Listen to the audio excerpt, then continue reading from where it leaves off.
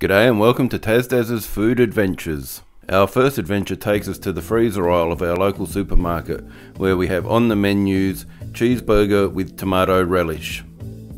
Here we have a quick look at the outside of the box and on the bottom we have the nutrition info and the ingredient list. So if you want to have a look at those just pause the video now. So here we have the cooking instructions, basically take the product out of the box, then out of the wrapper, and then in the microwave on the tray for 2 minutes.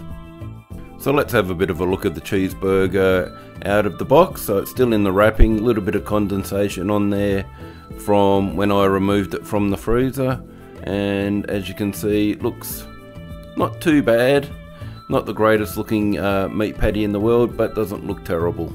So here's the cheeseburger out of the wrapper and as you can see as I twirl it around the actual burger and cheese seem to be more to one side of the burger than the other. So one side's getting a lot more of the cheese and burger whereas the other is getting a lot more bun so not a very uniform. The bun looks quite nice and has a lot of sesame seeds on it and here is a look at the crisping tray that we cooked the burger in. So our burger is ready to go, let's put it in the microwave and see how it comes out.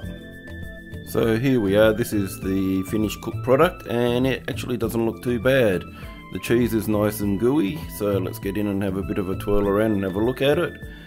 Looks to be cooked quite nicely and the bun looks really nice and fresh. Um, so let's uh, get it out of the tray and let's have a look at the base of the burger because it was cooked in a crisping tray and as you can see here it's actually come out looking quite nice and crispy.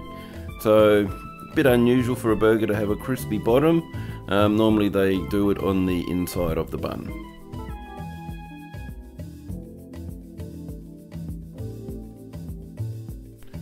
So let's get in there and have a look what it's like inside the burger. As you can see the cheese has melted very nicely. Um, you can see the big blob of tomato relish on there and the top of the burger patty as well. Um, bit of a mess, but I'm going to get guess you get that with the uh, the melted cheese such as it is, but it doesn't look too bad. The bun's pretty soft as you can see, as it's all kind of scrunched up with me uh, prodding around with it. So I've got my magic utility knife here, which is actually a cheese knife, and we're going to cut it in half and have a look and see what it's like in the middle. I know most people wouldn't uh, do this to their burger, but in the name of science, we're going to do that today.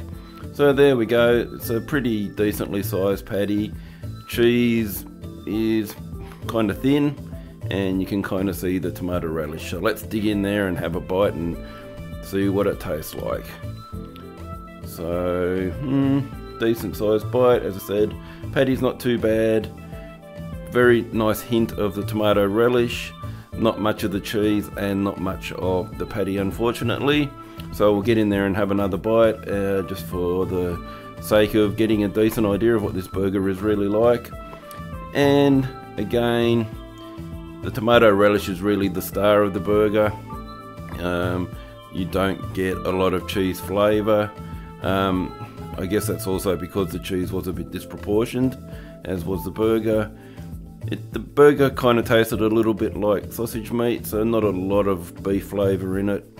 Um, overall, I would give this burger a probably a 2 out of 5 stars on a star rating system. It was $3.15 for the burger, so actually quite comparable to the cost of a normal cheeseburger here in Australia. So probably not the best value and probably best to pick it up on special if you can. But if you're like me and you don't have a lot of takeaways near you, it's not a bad alternative every now and again. So that's the on the menu cheeseburger with tomato relish. My first ever food review. I hope you enjoyed it. Thanks for watching. If you did like it, please give it a thumbs up and always the option to subscribe to support me. Thanks everyone and thanks for watching again.